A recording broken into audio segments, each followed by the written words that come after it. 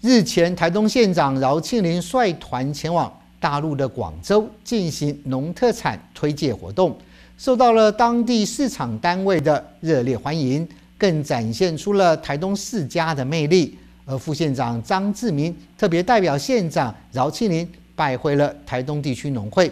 感谢参访期间的大力协助，也希望在未来有更多的机会共同来行销台东的农特产品。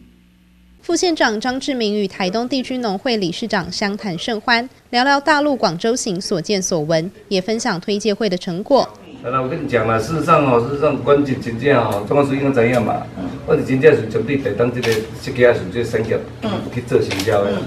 嘛唔怎么个去别去做行销。大陆广州江南果菜市场是蔬果交易规模最大的批发市场，也是台东行销世家的重要市场之一。此次广州行受到当地市场单位的热烈欢迎，让推介会十分成功。副县长张志明特别拜会台东地区农会，代表县长饶庆林感谢之意。一颗可能要一两斤哦，那也要一斤两斤。他们他们现在的一个状况，也就是说，呃，损耗蛮大的了。就是说，中国大陆的那个消费者，他们习惯去去摸私家，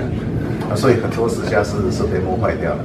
啊，所以你在卖私家的人呢，你就要就要依依据说，我我今天我有十颗私家，我大概卖五颗，我本本本钱跟利利利润都拿回来，剩下的损害掉了就损耗就就损耗了这样。啊，参关长嘛，感谢关长，关长的时候，关长的时候，熟悉的时候，伊拄合作这个合作会安尼吼，伊就从伊别去讲，无伊哪有机会当去江南市场啦，不可能啦。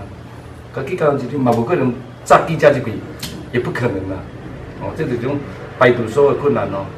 哦，肯定嘛，政治我我伫有有参加因几下会去座谈，我讲县长啊，刚刚就他的证件，就要针对有部分的是要针对凤女世家这个建模。副县长张志明强调，行销台东优质农产需要大家一同携手合作，让更多人看见展现台东的独特魅力。记者潘俊伟台东市报道。